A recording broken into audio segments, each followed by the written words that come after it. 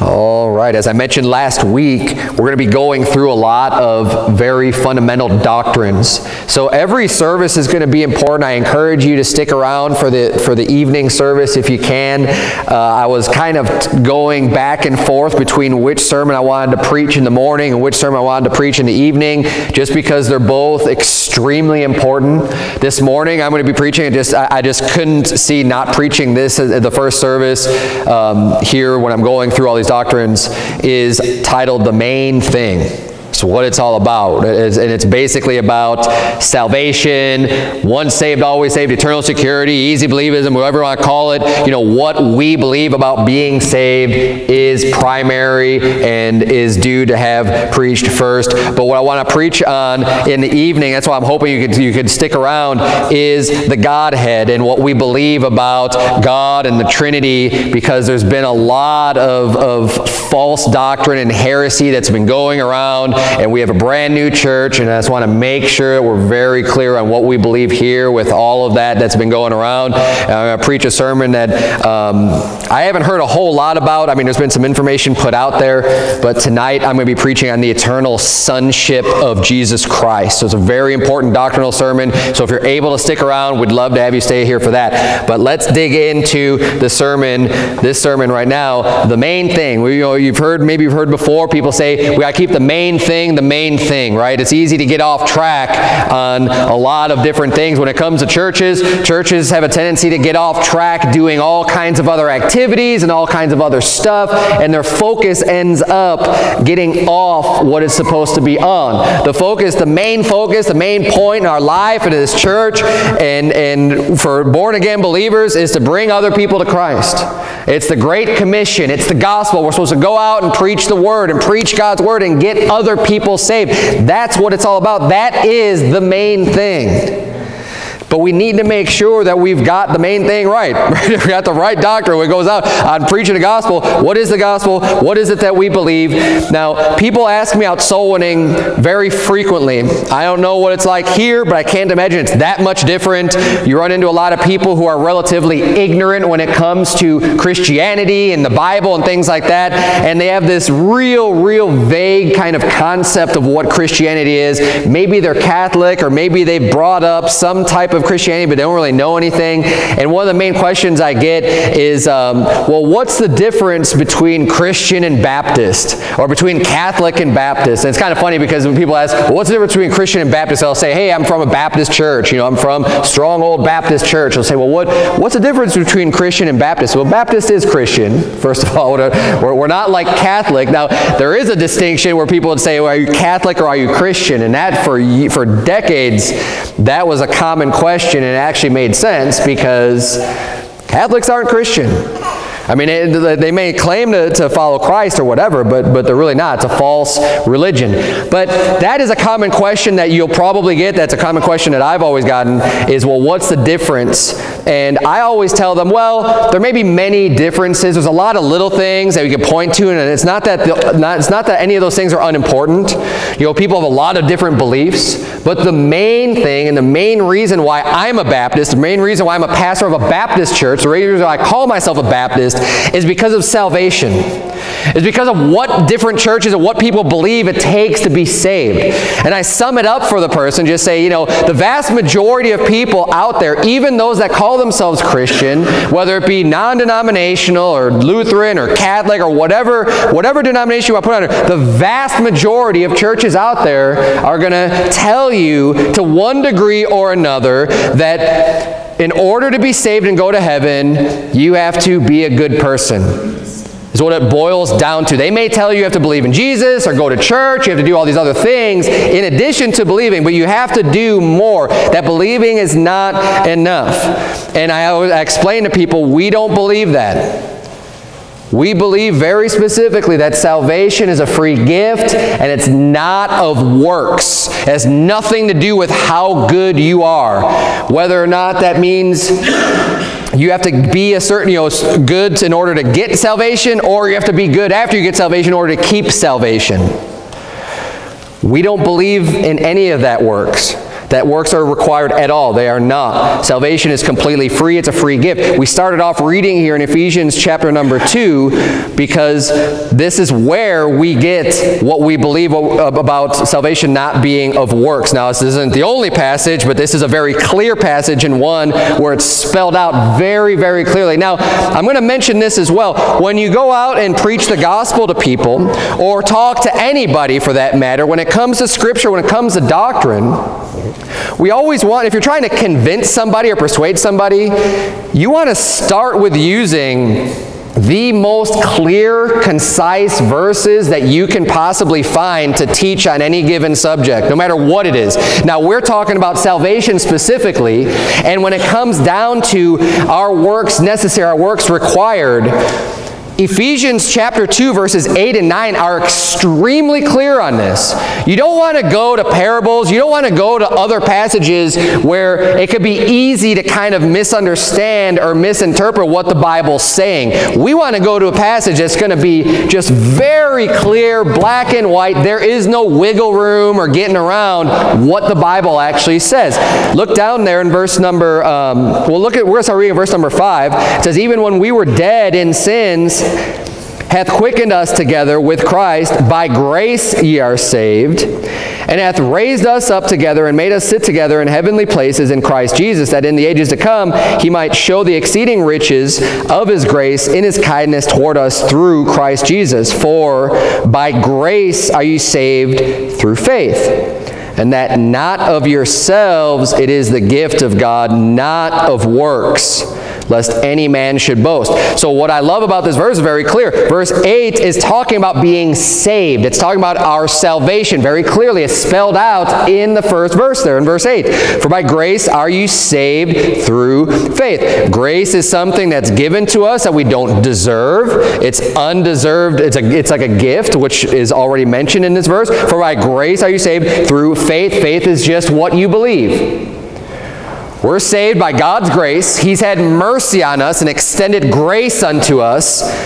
And we're saved through faith. And that not of yourselves. It's not based on us. It has nothing to do with us. It is the gift of God. It has nothing to do with how good we are. It's something that you receive for free that's bought and paid for, given to you, not, and then we have verse 9, not of works. It cannot get any clearer than that. I mean, there, there is no way I think you could ever possibly word this understanding or the, you know, this thought than just clearly saying, not of works, lest any man should boast. There is no argument there. There should be no argument there. And these are the types of verses that we want to show to people. These are the verses that I like to use when I'm teaching a doctrine. This is what I like to use to prove, hey, this is why I believe what I believe, because the Bible says right here, it is not of works. It is grace. It is through faith. It has nothing to do with me. It is a gift. It's something I receive for free.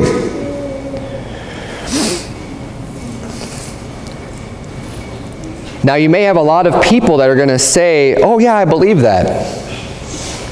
I agree with that. Yet in their heart, they're still trusting in their works. The reason why is because this is so clear that even churches that teach a false gospel will still give lip service or say, hey, we believe salvation's by grace through faith. I mean, all the Reformed churches will say that. All, I mean, the vast majority of churches will say that. The vast majority. They're going to say that they believe that. But, they, but when it boils down to it, they really don't. Now, um, you may be thinking, you know, well, what are you, what are you talking about, Pastor Berzins? I remember when I first got saved, I thought that there were a lot of people that were saved out there. I kind of felt like I joined the club.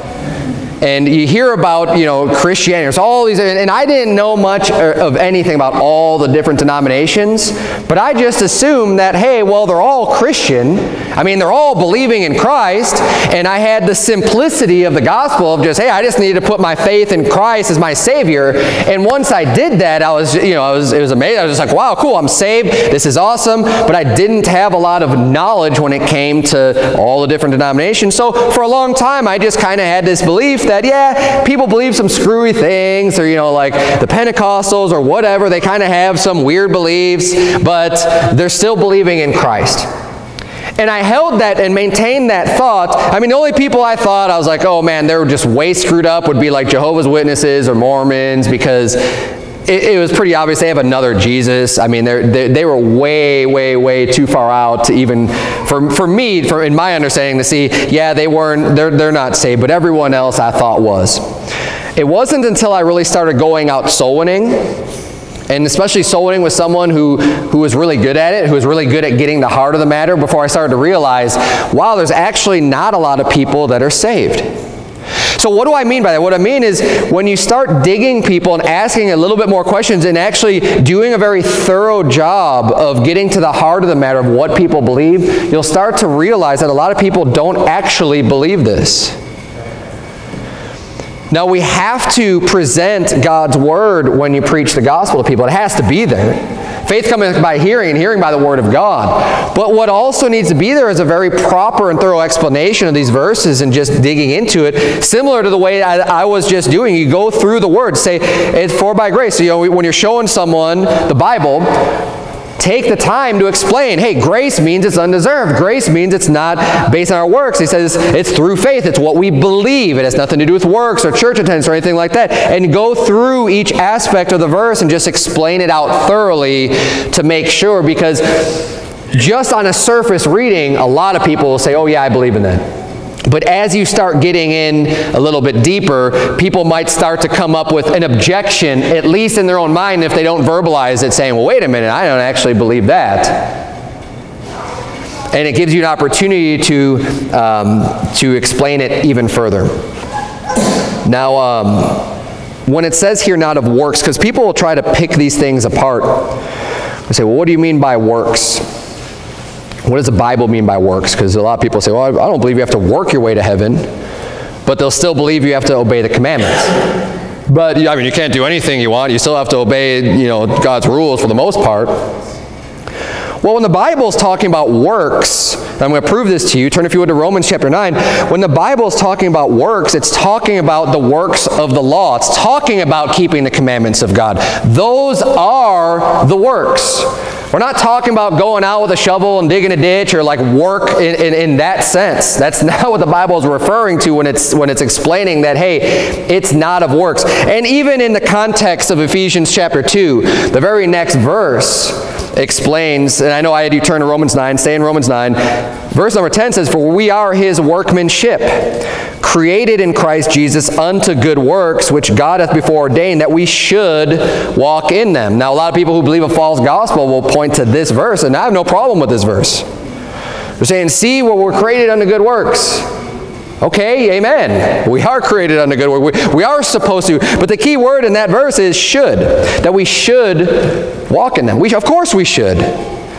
It doesn't mean you automatically will if you get saved. But see, that's what they try to say is that, oh, well, if you are saved, you will just automatically do all the good works. It's not true. We should. We should walk in those works. But it says we're his workmanship. He's worked through us and we are created unto good works, doing good things. And the way that we do good things is by the law. Look at Romans chapter 9, verse number 30.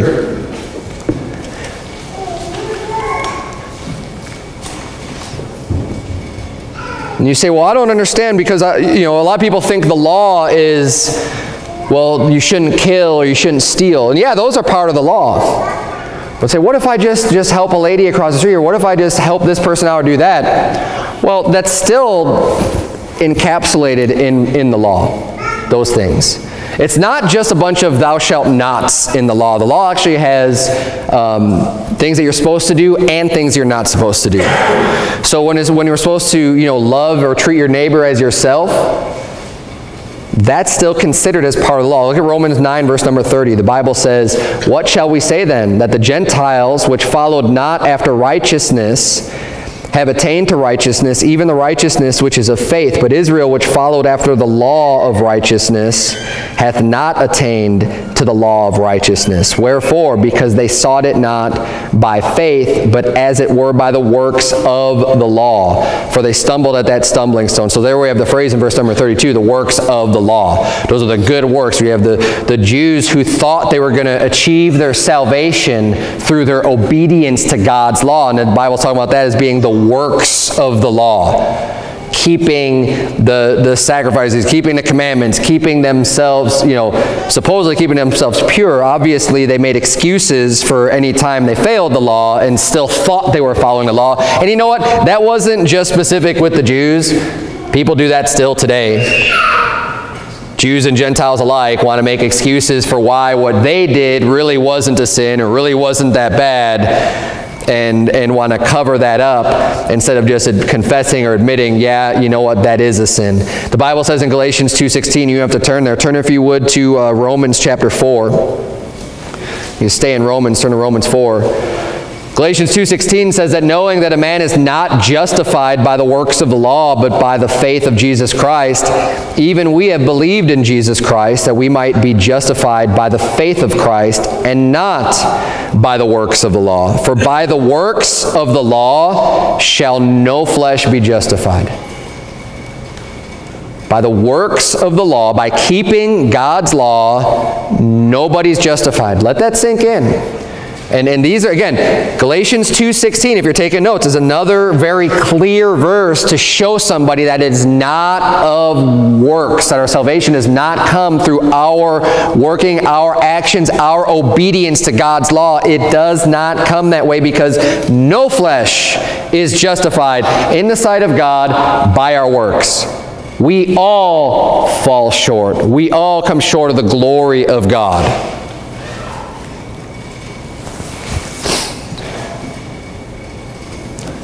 So the next point I want to make is then is because people will, will follow this, this train of thought and say, well, is it possible to believe and not have works? And we just, we just experienced this on Wednesday with a, with a Catholic lady.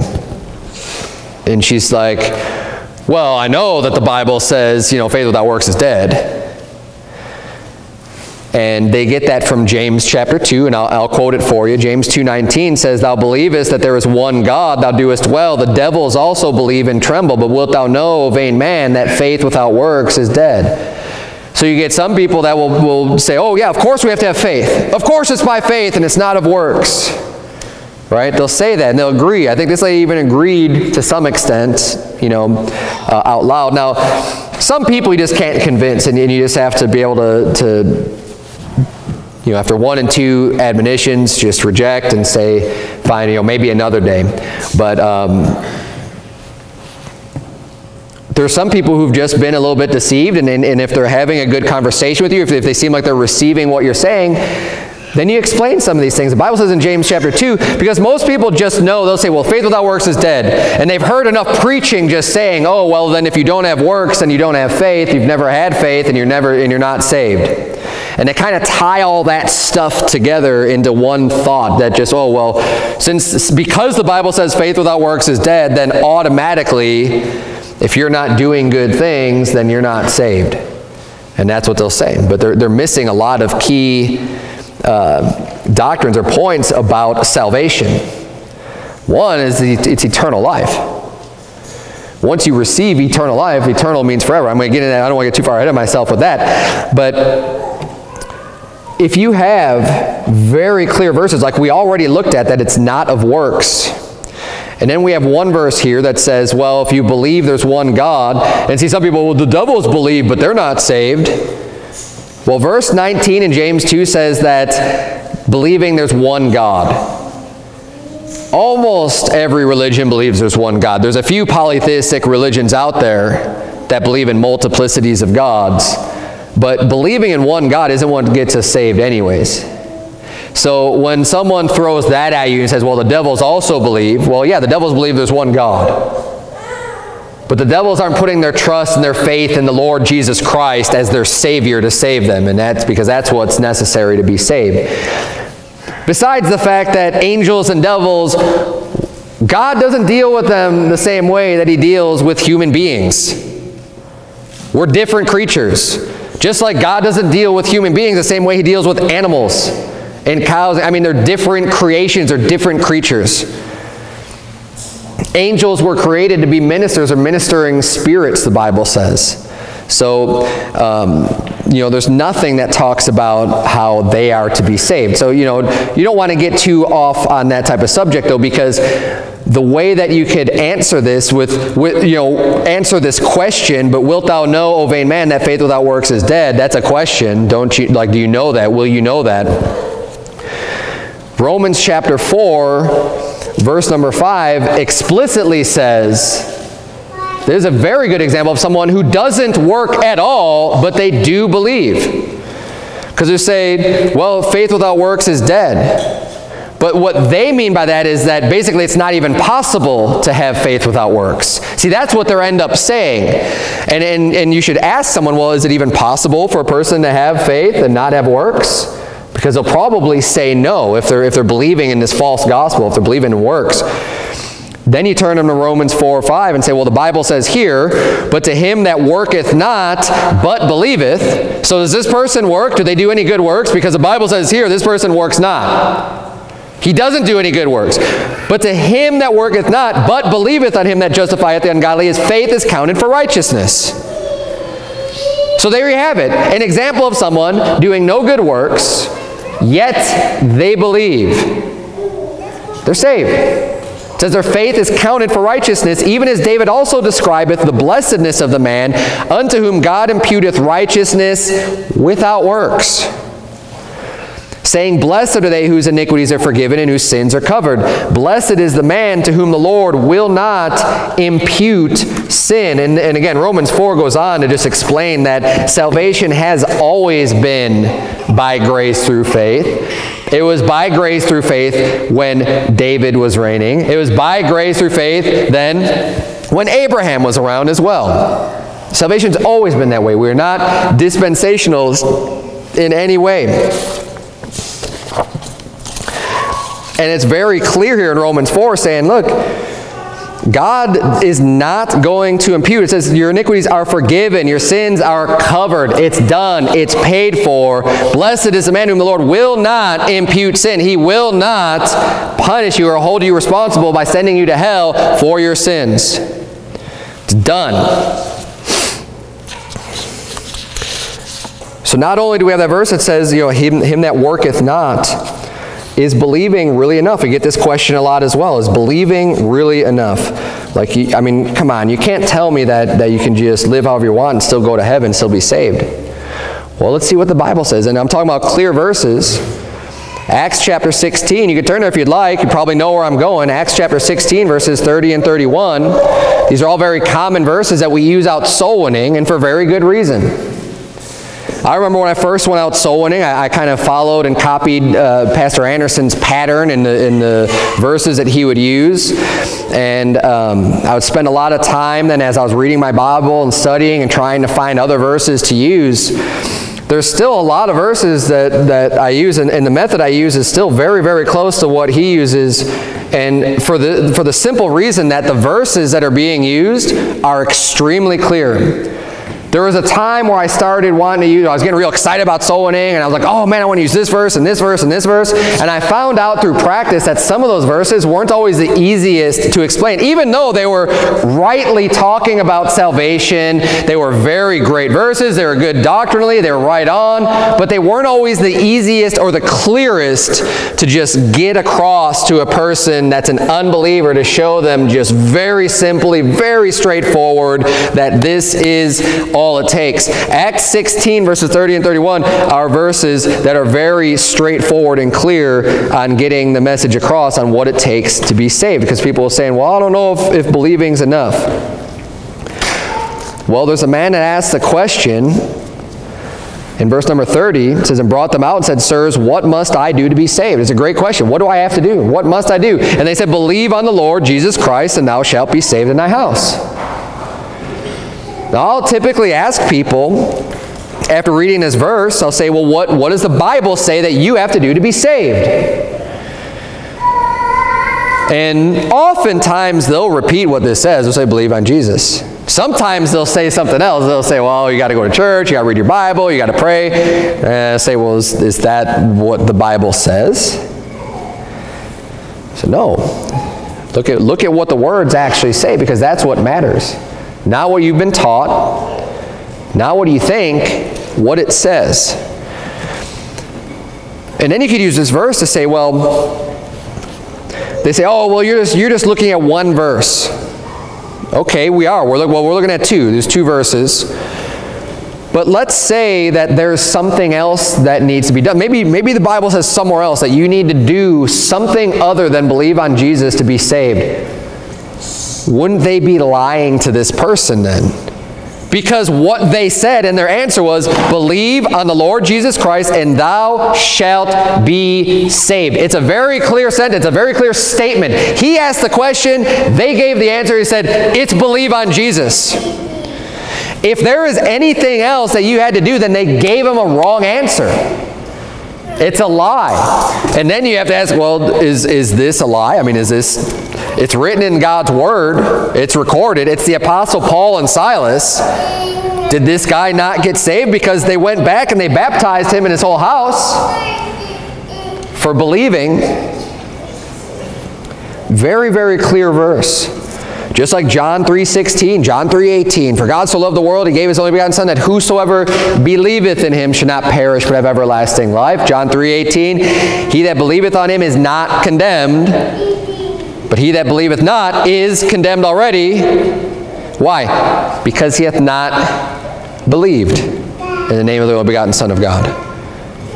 That's why he's not saved, because he didn't believe. This person's saved, they're not condemned, they're not guilty because he believed. The other person they are condemned because they have not believed. Very simple, very straightforward verses. These are the verses that we want to use. These are the verses that I love to use when explaining salvation because it is that critical. Well, what about repenting? A lot of people say, well, you have to repent of your sins. You have to, you know, you have to believe and repent. Believe and repent. And they'll say these two things go together. You can't tie them apart. You can't do it. You know, believe and repent. But see, the problem is what they say, and this could go an entire sermon of its own But the vast majority of people, when they say you have to repent, they just add repent of your sins, or they automatically think that that's what it means. You have to repent of your sins. You have to turn from your sins. You have to repent of your sins. Let me tell you, the word repent all by itself does not mean turn from your sins. Not at all. The easiest way, the easiest definition I can tell you what the word repent means is just rethink. The word pent is, is, the, is a root word for, for thinking. Um, you know, I believe it comes from Latin, but uh, regardless, if you know any Spanish, you know pensar means to think. It's the same, again, the same root word where the word comes from. Repent just means you're rethinking something. You're changing your mind. That's what the word repent means. If it had anything, if it inherently was talking about sin, like turning from your sins, well, then that would make God a sinner because God repents in the Old Testament. You can see God repenting. It says, even in Jonah chapter 3, verse number 10, the Bible says, And God saw their works, that they turned from their evil way, and God repented of the evil they thought to do unto them. So God repented. God was going to destroy Nineveh. But he changed his mind when he saw their works.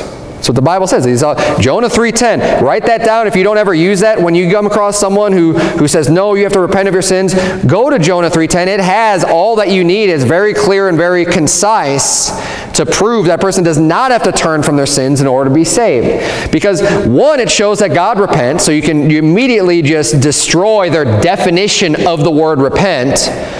So, is God a sinner? Did God have to repent of any sin? No, he doesn't. Because that's an important point to get across because people just hear the word repent and they just automatically in their mind are going to add of your sin, of your sin, of your sin. It's not of your sin in every case. You can't understand the Bible with that, with that definition of repent. You're, not, you're going to be all screwed up. So one, it shows that the definition is different, but two, it shows then and defines that if you're turning from your evil way or turning from your sin, It's works. Because the Bible says God saw their works, that they turned from their evil way. Turning from your wicked ways. I'll say, well, well, is repenting of your sin the same as turning from your wicked way? Yeah, it is. And the Bible defines that as works. Why? See, people use this phrase, "Oh, you're turning from your sin to the Savior," but that's not. That's not. That doesn't even make any sense, because if you're turning from your sins, and look, we all, we all ought to turn from our sins. I believe in this. I believe in turning from your sins, but not in order to be saved. If you turn from your sins, what's going to happen as a result is you are going to be obeying God's law. Because what is it that's making you sin? It's God's, you know, it's, it's your lack of obedience to God's law. That's what's making you a sinner. You're not obeying God's law, therefore you're sinning. So when you turn from not obeying God's law, you're going to turn to obeying God's law. That's how you turn from your sins. So if you have to turn from your sins to be saved, then what you're saying is you have to obey God's law in order to be saved. It's the works of the law, which we already showed are not a requirement for our salvation. But it's a, it's a very big, uh, very, a lot of brainwashing going on out there about turning from your sins to be saved. But if you could break it down for, if you find someone that's willing to listen, you could break it down for them because one of the, the most important things we can do in giving the gospel is just break things down very simple, very easy to be understood, and use the verses that are clear. Jonah 3.10, there's no doubt about what it's saying. People might reject it because they don't like what it says. But what it actually says is clear. It defines turning from evil uh, as works, turning from wicked ways as works. Since salvation is not determined by our good works, we've already established that, and only by our faith, the next thing is, is then, well, how can our bad works take away our salvation? Because some people will say, oh no, salvation is a free gift. It's completely by grace through faith. You know, you just have to receive it, believe in Christ, and you're saved. But then they'll say, but, but, I mean, if you commit murder, if you don't follow me, if you don't, then God's going to take that gift away from you, and then you're not saved anymore. See, there's all different ways that people try to, to back in works into the equation. Instead of just accepting that it's totally free and bought and paid for. And once you receive it, it's yours. Because they'll say murder or suicide well, if it wasn't based on our good works, then how can our bad works take it away? It doesn't, that doesn't make any sense. I didn't deserve salvation when I got saved, when I was 20 years old. Didn't deserve it. I was a sinner. I don't deserve it. But guess what? I did get saved. I'm 41 years old today. I still don't deserve salvation. I'm not going to deserve salvation tomorrow or in a year or in 10 years. I, I don't deserve it. I'm still a sinner. I don't deserve it. I'll never deserve it. So it's not based, me keeping salvation has nothing to do with being good enough because I'm not good enough. Nobody's good enough. That's why it has nothing, that's why Ephesians 2 says not of yourselves. Like not of yourselves at all. Not to receive it, not to keep it, not to maintain it. It has nothing to do with you. It has to do with Jesus and what he did. Because he gets all the credit and all the glory and all the honor. I don't get none of it. It doesn't matter how much I clean up my life. I still am not worthy of having that great gift. But Jesus was worthy. And all the direction, all the attention goes to him. If I never deserved the gift to begin with, how can I undeserve it later? That, again, it doesn't make sense. We can't lose it.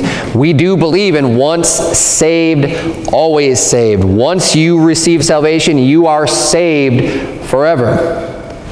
Now, when you say that to people, oftentimes what people get confused with is they'll say, oh, so you're Calvinist.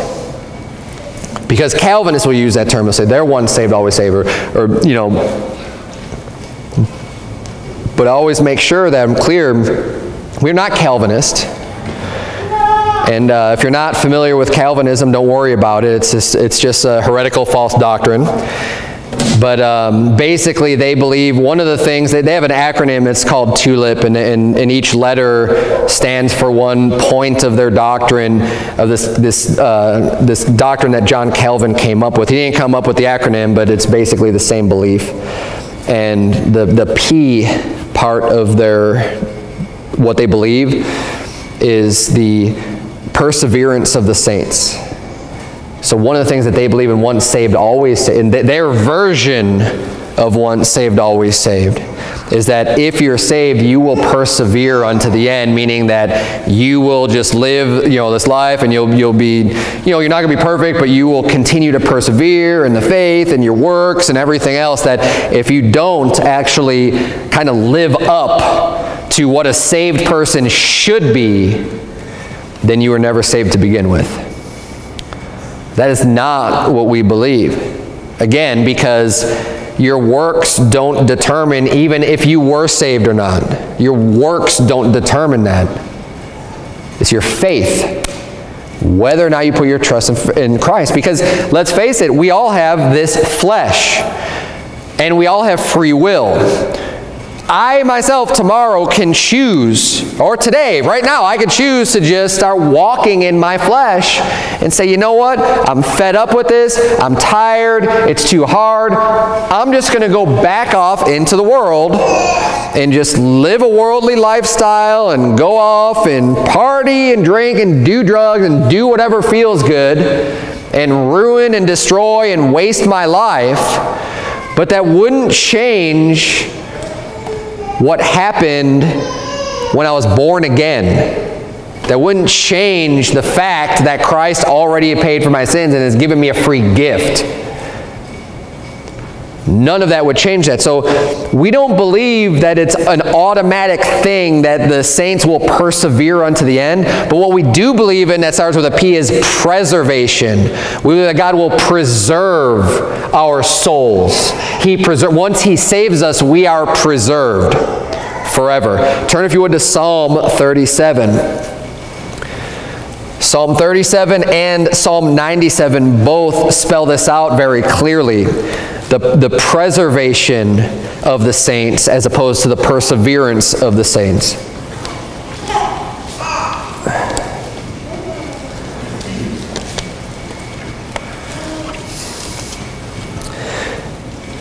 Now, don't let, because in both Psalm 37 and both uh, Psalm 97, the word saint is used. And sometimes the word saint can throw people off because, again, the Catholics have this perception or teaching of what a saint is. And they don't call someone a saint unless they've done all these good works and stuff and they have to vote on it or however they go through their process of someone who's achieved sainthood based on their works. That is not a biblical definition of a saint. The word saint just means someone who is sanctified. That's where the, the two words come from the same root. So someone who's sanctified is someone who is sanctified through Christ. Basically, you're cleansed or you're washed through Jesus Christ.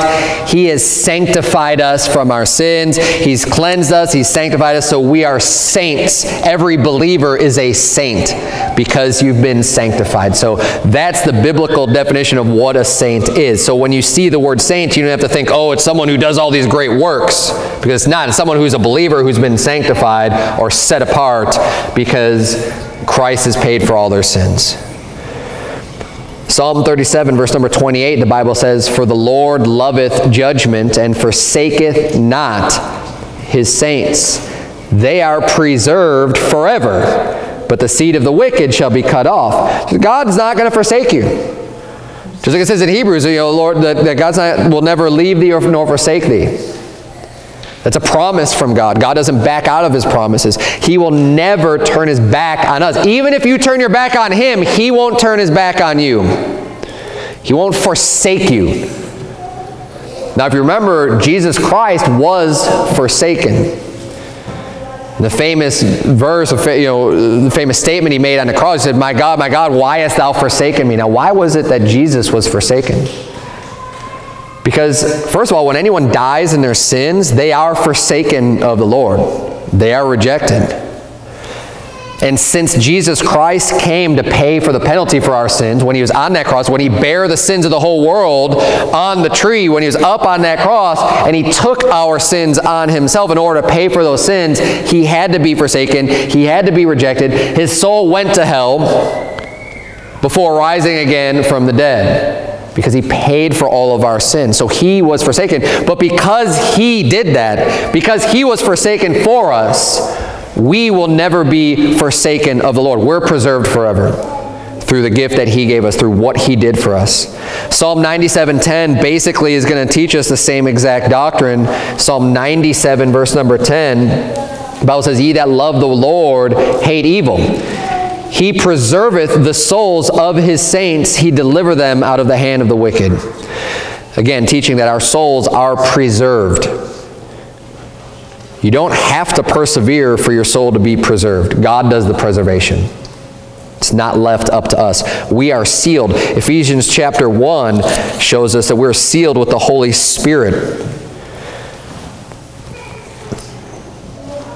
Ephesians 1.13, this is actually the verse that I used on the, on the front of our tracts that we would give out at Word of Truth Baptist Church. Not only does it have Word of Truth in there, but it's a, a great salvation verse that's very, very useful when going out and preaching the gospel to people. Verse number 13 says, In whom ye also trusted, after that ye heard the word of truth, the gospel of your salvation. So it's talking about trusting in Jesus after you've heard the gospel, right? In whom also, after that ye believed, you were sealed with that Holy Spirit of promise which is the earnest of our inheritance until the redemption of the purchased possession under the praise of his glory.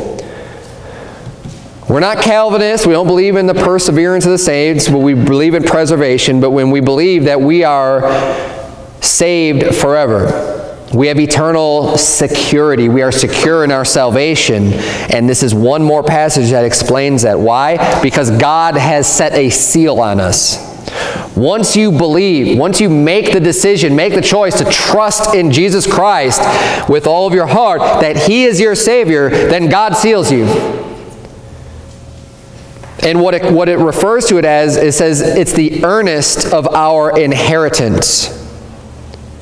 We're going to receive an inheritance later, but the moment you believe, you're sealed. And there's a down payment kind of, you know, put down where God gives you the earnest of the Spirit until the redemption of the purchased possession. The purchased possession is us in full, our bodies, everything. God has bought us with a price. He's purchased us. With the blood of Jesus Christ, we are bought and paid for. We belong to Him. So once we put our faith in Him, we belong to Him. He seals us, and He gives us that Spirit as the down payment saying, I'm going to come back for the rest. So when Jesus Christ comes back, then our bodies are changed. We're reunited with our soul, spirit, body, everything, back in one, glorified, and we belong to God. It says, unto the praise of his glory. Turn if you would to John 5, 24. John 5.24, very, very rare that I ever give the gospel to anybody without turning to John 5.24. This is my favorite verse in the whole Bible. I think it's extremely powerful. We sang that song this morning, Verily, Verily. Comes from this verse.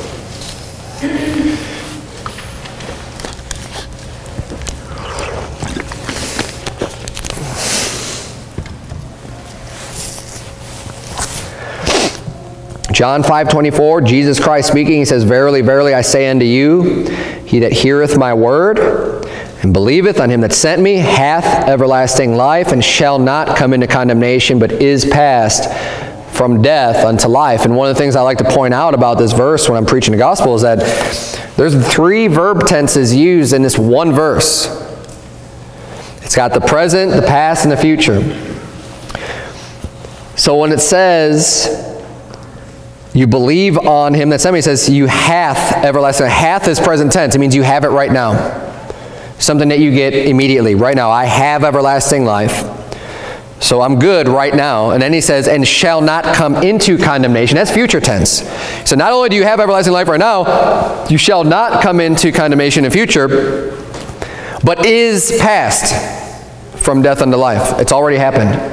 It's already done. Because you believe, the moment you believe, you've passed from death unto life. You're headed towards death as a sinner. You believe in Jesus. That's, that's the line mark. If you have a timeline of your life from birth until death, you're living your life, you're living your life. As soon as you believe in Jesus, boom, that's the moment you've passed from death unto life. It's done. It's paid for.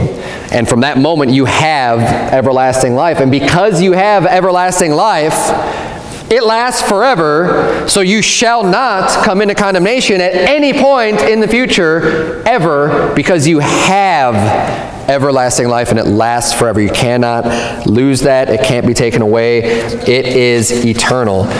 The words eternal and everlasting mean forever. Turn, if you would, to... Um, just flip over to John chapter 10. We're here in John 5. We're just going to spend the rest of our time probably here in John. John chapter 10, verse number 28. And again, if you want to take notes of any of these verses, if, these, if these, any of these verses aren't ones that you normally use out solely, you may want to make a note of them and maybe you want to kind of incorporate them if you think that makes sense.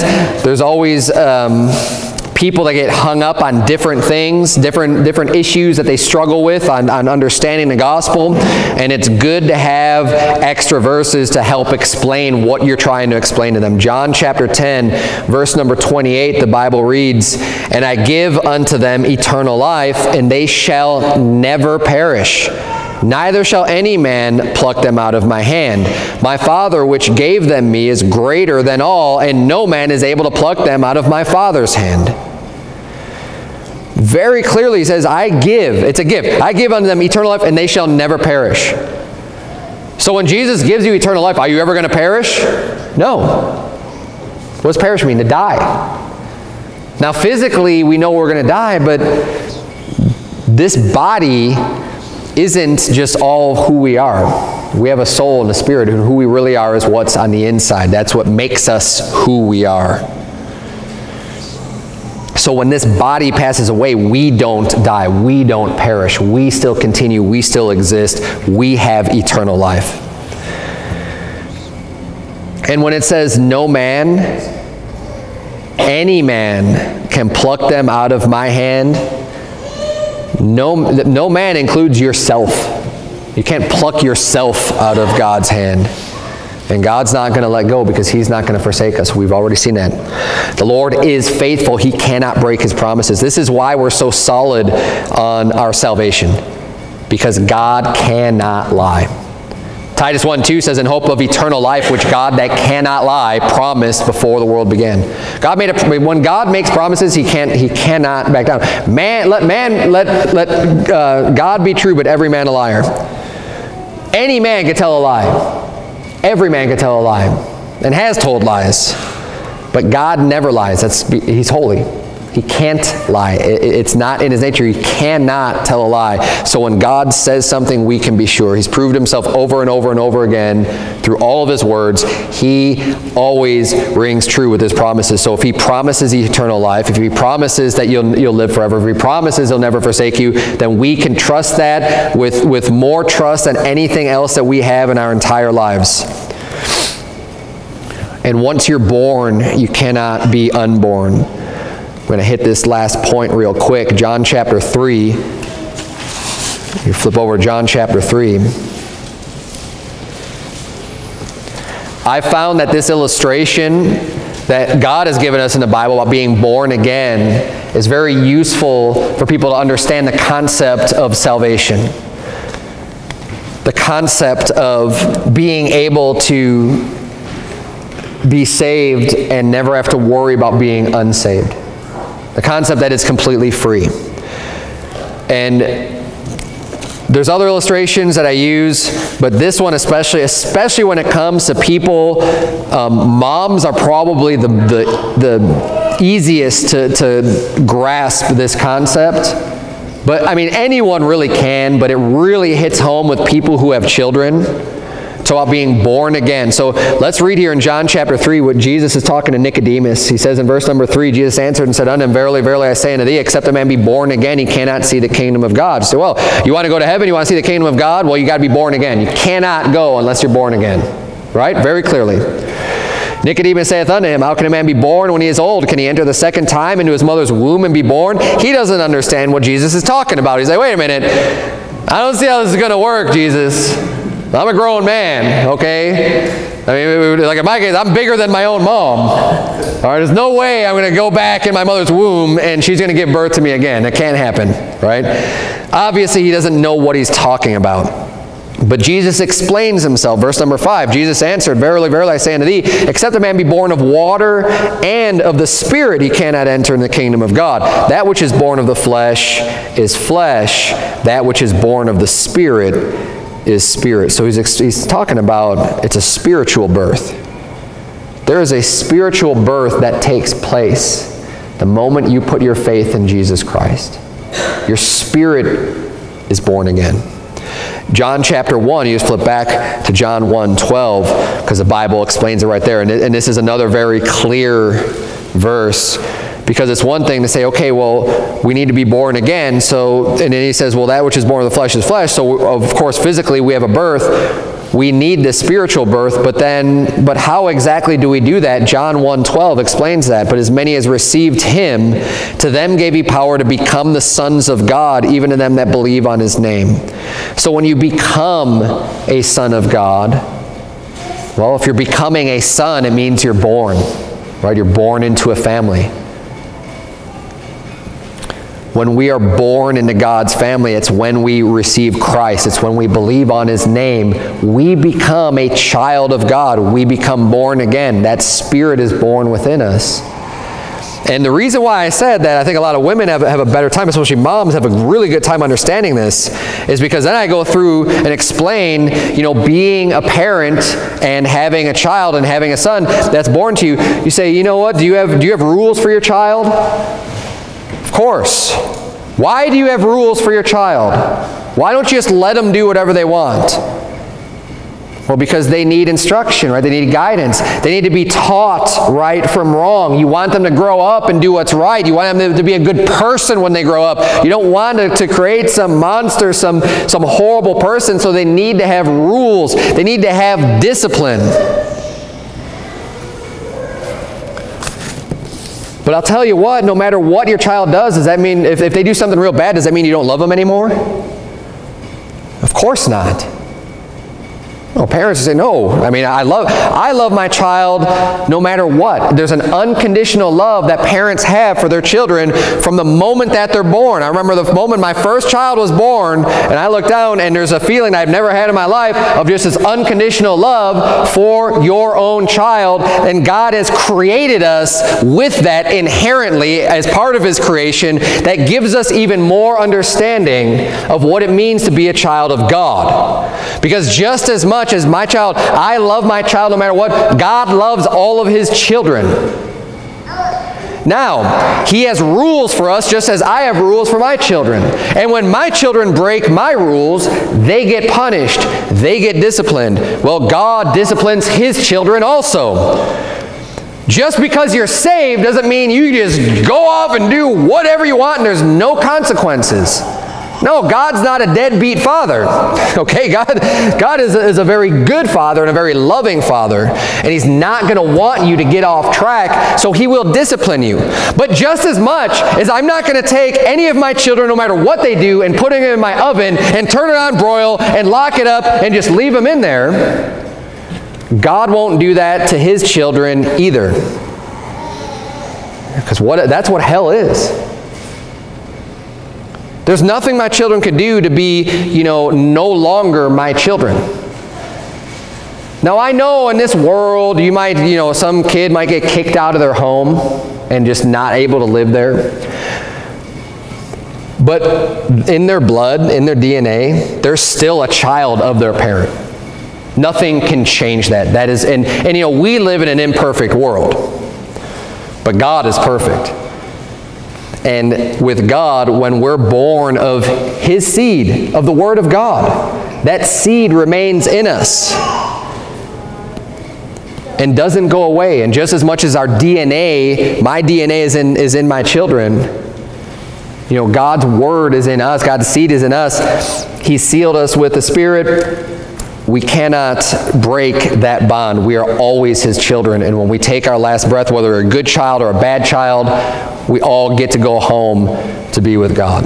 And that is a concept that many people, who, especially those who have children, can really relate to and grasp and understand and say, yes, I get it. Yes, that's what, you know, that makes sense to me. And God gives us these, you know, these ways of understanding so that we can grasp it and get it. God doesn't want us to be ignorant, and, and He want God, you know, God wants everyone to be saved. For God so loved the world that He gave His only begotten Son. The Lord's not willing that any should perish, but that all should come to repentance. He's given us the opportunity. He's given us the information. He's even instilled in us that concept of, of, of having children and knowing what that's like and knowing the love of a father, the love of a mother. And he relates that to our salvation because that's what our salvation is like. It is forever. It is eternal. Galatians 4 is the last place I'm going to look at this, this afternoon. I'm going to close with this. Galatians chapter 4. Again, and just in reference to being a child of God or being a son. Galatians 4, verse number 4. The Bible reads, But when the fullness of the time was come, God sent forth his Son, made of a woman, made under the law, to redeem them that were under the law, that we might receive the adoption of sons. And because ye are sons, God hath sent forth the Spirit of his Son into your hearts, crying, Abba, Father. Wherefore, thou art no more a servant, but a son and if a son, then an heir of God through Christ. As a child, as a son, now, because we're in the family, there is an inheritance. Inheritances are received only by the family members, typically, right? Your, your, an inheritance is passed on from father to son. We have an inheritance in heaven with God through Jesus Christ because he is who made it possible for us to be saved, to be adopted children, to be brought into God's family. That heir, that you know, there's there's so many things that the Bible relates and helps relate to us of what salvation is and, and help us understand this. It's a very important doctrine. You know, I, I may not preach anything new necessarily to you to, uh, today, but we need to have this reinforced. And hopefully you got maybe a few extra scriptural references that you can use or tips on going out and, and preaching the gospel to people. But um, th this is the most important doctrine and the primary thing what we're all about. So it, it only makes sense to preach that first and just just make sure we're all on the same page. This is what salvation is. And let's go out this afternoon and, and bring this good doctrine out to the people out there, out to a lost world, and see how many souls we can save. Let's bow our eyes have a word of prayer. Dear Lord, we thank you so much for, um, for the free gift of salvation, for just allowing us to be totally secure and, and know that we're saved no matter what because you've bought and paid for our salvation, dear Lord. Um, we thank you for such a, a great gift, and I pray that you please help us to be able to explain. It's an easy concept. It's not difficult, dear Lord, but so many people have been twisted around with bad doctrine and bad teachings, dear Lord, and um, I pray that you please help us to undo some of that damage and just bring the truth to people and that they would have the best chance that they could to just understand what the gospel is and what you've done for them and that we can uh, help bring those people to Christ. And it's in Jesus' name we pray. Amen.